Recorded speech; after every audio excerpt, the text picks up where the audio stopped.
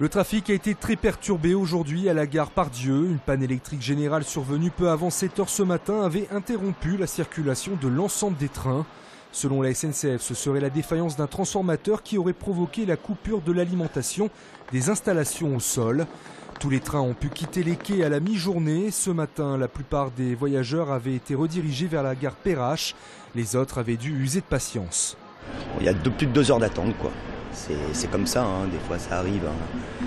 Donc faut, faut prendre son mal en patience. Voilà. La préfecture fait le bilan. Jean-François Carinco, préfet de région, présentait aujourd'hui les chiffres de la délinquance pour l'année 2014 avec un point positif la baisse du nombre de cambriolages de 1,4%.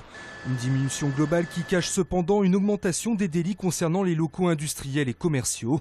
Face à cette situation, la gendarmerie veut jouer la carte de la proximité. Nos objectifs pour 2015, c'est encore et toujours euh, la proximité auprès de la population. J'ai donné pour directive que euh, chaque jour, à l'instant T, nous ayons 400 euh, gendarmes sur les 1000 que compte le groupement en contact avec la population. Autre point qui attire l'attention des autorités, les violences familiales qui accusent une hausse de près de 7%. Une délinquance qui apparaît plus, ça fera partie des axes importants qu'on aura cette année, comme l'an dernier, mais plus encore que l'an dernier, et bien de, traiter ce, ce, genre de délinquance. Dernier point noir pour cette année 2014, la délinquance routière qui a provoqué la mort de 48 personnes sur les routes du Rhône, 11 de plus qu'en 2013. Marie-Lise Lebranchu, ministre de la fonction publique en visite dans un commissariat du 3e arrondissement de Lyon. Elle est venue échanger avec les policiers sur la laïcité et notamment sur la formation des agents, pour laquelle Lyon est un véritable précurseur. Sur le Rhône, euh, plus de 600 fonctionnaires ont été euh, formés depuis euh, deux ans. Premièrement, on définit ce qu'est la discrimination, chose qui n'est pas toujours acquis par tout un chacun. On le sensibilise aussi le policier sur la notion des, préjugés, des stéréotypes, de sorte à ce qu'ils comprennent toute la mécanique mentale qui amène une personne à discriminer. Mais avant sa visite au commissariat, Marie-Lise Lebranchu s'est rendue à la préfecture. L'occasion une nouvelle fois de rappeler la place essentielle du fonctionnaire dans le respect du principe de laïcité.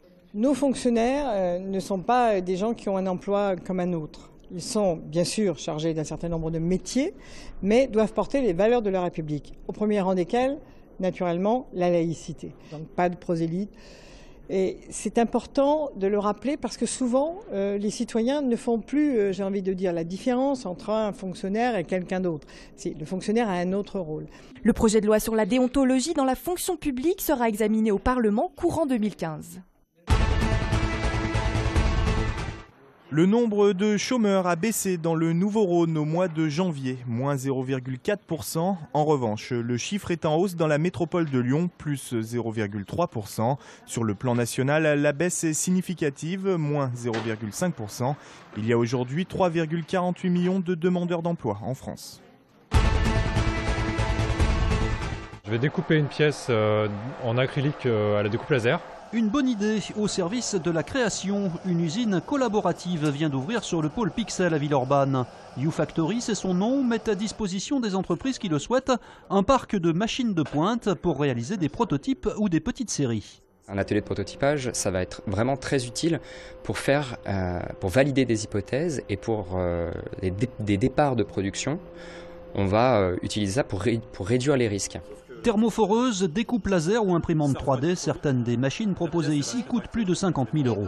Et quand vous avez besoin d'avoir accès à des machines performantes, non seulement vous manquez de place, mais aussi de moyens. Donc c'est impossible et ça ne crée pas du sens d'investir dans des outils sur des usages ponctuels. Notre modèle économique, c'est un principe de location. Donc en termes de tarifs, euh, on propose des ateliers à la journée à partir de 50 euros. Donc je vais vous montrer cette pièce euh, qui était imprimée en 3D qui permet de modéliser euh, voilà, la, enfin, la partie supérieure de la mâchoire. ça, ça va être utilisé par exemple en dentaire. Parmi les clients de YouFactory, on trouve beaucoup de designers. Tout pour le, le laser, ça permet d'avoir une finition vraiment propre qu'on ne peut pas avoir avec une scie sauteuse par exemple. Donc ça permet d'avoir vraiment un rendu nickel.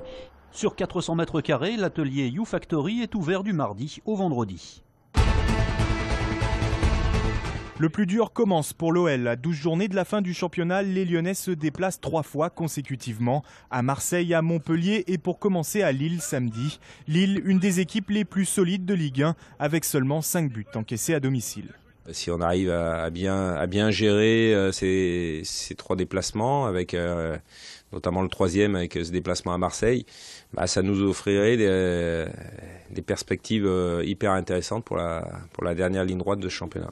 D'autant plus que la jeune équipe d'Hubert Fournier doit assumer son rôle de leader. Si l'effet de surprise a pu jouer au début, désormais l'OL est l'équipe à battre. Elle est attendue sur tous les terrains de Ligue 1. Que ce soit euh, euh, X ou Y euh, qui se retrouve à la première place, quand tu joues le premier, tu es, surmotivé. Maintenant, nous, on ne s'occupe pas des adversaires, on s'occupe de nous. Jallet, blessé la semaine dernière à la cuisse, pourrait faire son retour dans le groupe. Du côté des absents de longue date, Grenier saura d'ici 15 jours s'il doit être réopéré pour sa pubalgie. Tandis que Fofana a retouché le ballon avec ses coéquipiers, lui qui n'est plus apparu sur un terrain de Ligue 1 depuis presque un an. Lille-Lyon, coup d'envoi samedi à 16h.